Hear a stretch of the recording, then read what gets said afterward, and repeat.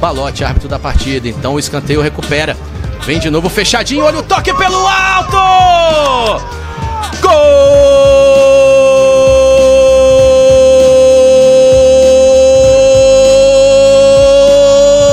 da Aparecidense! Do time que luta, do time que não desiste, do time que paga na mesma moeda. O cruzamento fechado do Matheus Leal, o toque na primeira trave.